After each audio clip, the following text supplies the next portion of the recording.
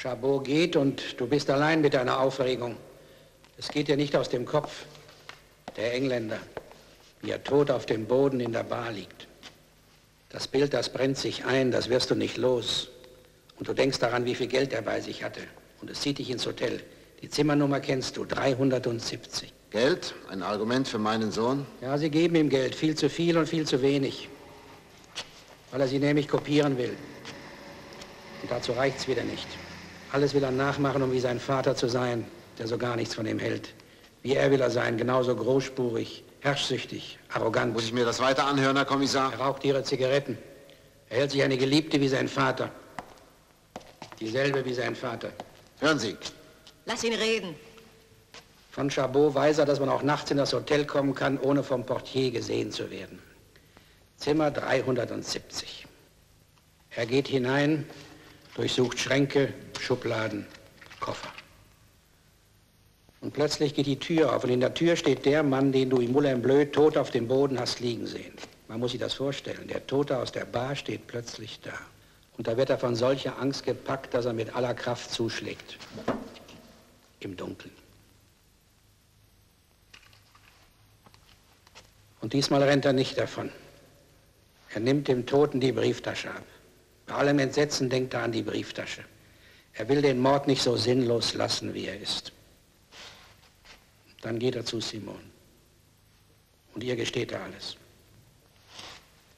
Und am nächsten Morgen liest er in den Zeitungen, dass das Opfer, sein Opfer, nicht im Hotel entdeckt wurde, sondern im Park.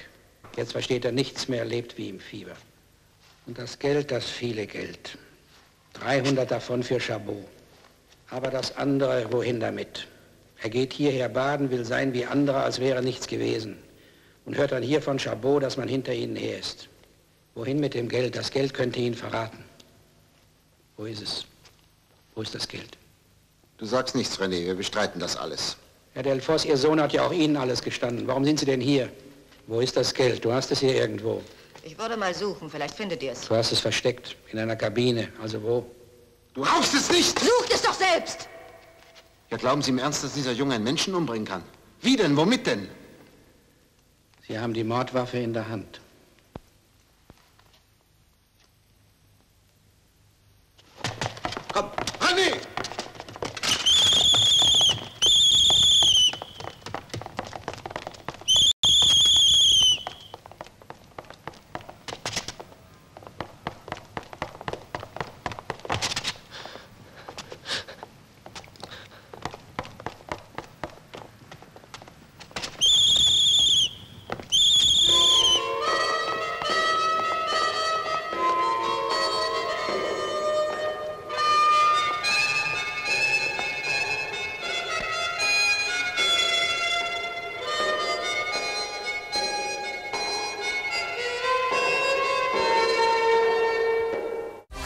Armin Assinger weiß, Früh übt sich, was ein Quiz-Champion werden will. Ja. Ehrlich.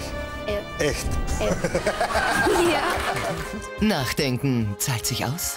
Zehn clevere Kids treten an, um es allen zu beweisen, wie sehr